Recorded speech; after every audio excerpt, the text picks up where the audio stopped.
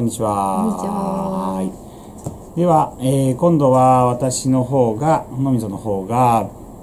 美容針の実際、自分たちが実際に臨床でどのようなことをしているかということを、この学会でもちょっと説明しました。まあ皆さんどういうことをしているのかすごい興味があるのかなと思いましたら、本当にすごい興味津々でしたね。えっと、まあ、このスライドにもあるんですけども、基本的には、まあ、どういうことを、美容法と美容針とはどう違うのかっていうことを、まあ、はっきりちょっと見せ説明しました。まあ、化粧品は塗るでしょう。で、サプリメントは飲む。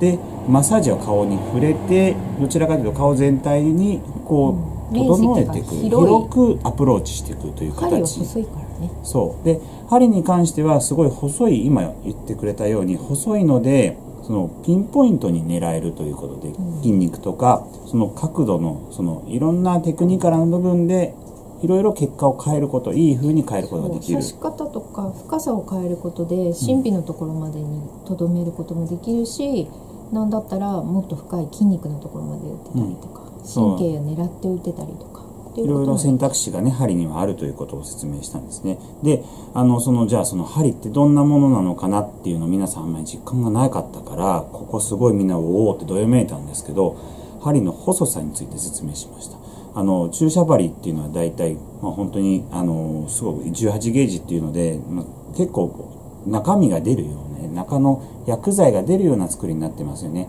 ですけど針に関してはすごく細くてまあおよそ0.10ミリうん。が。っていうぐらいの細い針をね、細さもそうだし、まあ、うん。来てたのお医者さんとかが多いので、まあ、一般の人でもそうだと思うんだけど針っていうとその切る針のイメージですよね。だからうん。入れると必ず血が出るみたいな、うん。切って入って液体を入れるっていうようなイメージですからね、うん。ですけど、まあ、美容に限らず針っていうのは先が丸いのでうん。ここのスライドにも出てますけど先端の状況も違うっていう話、そうですね、うん、すごくそれに対して皆さん驚いてました。でまあそれはそもそもどんな安全かっていうこともアメリカのその食品医薬局 FDA というところでも安全のランクとしてはかなり高いカテゴリーの2というものに属しているのであのそもそもの信頼性は安全性は高いよということを示していることも、まあ、今回説明できました。でまああのその後、まあ実際にじゃあ針針美容の針についてどういうことをするのかということを説明したんですけども、えっ、と針にはいろんな流儀がありますのでその刺し方もしくはその一体どこに刺すのか顔に刺すのかなもしくは全身と顔と組み合わせてやるのかなもしくは顔中にたくさんやるのか数本にとどめるのかとかまたあの針だけ単体刺すのか針にで低周波の刺激をかけるのかとかまたさっき広田先生言ったように少し深く刺すのか浅く刺すのかっていうことでいろんな方法がありますよという話をしました。でまあそれは刺すことだから何が起こるのかっていうことも必ず期待されるわけなんだけど刺すことによってまあすごく浅く刺すことになるわけですけども顔の血流がすごく増えていったりとかまた刺すことによって肌の緊張感が適度な緊張感が生まれて張りが出てきてたるみが消えるとかまたそのそこによってしっとりとその保湿されるような保湿感が出てくる。でまあその皮膚の薄く刺すことで先ほどシミとかの話も出ましたけどもシミも目立たなくなるということも説明したんですね。で全体的に張りが出るということだからシワも消えるんですって言ったらそれがええっていう本当に皆さんすごくあの興味がありました。だからまあ実際にどんどんこれから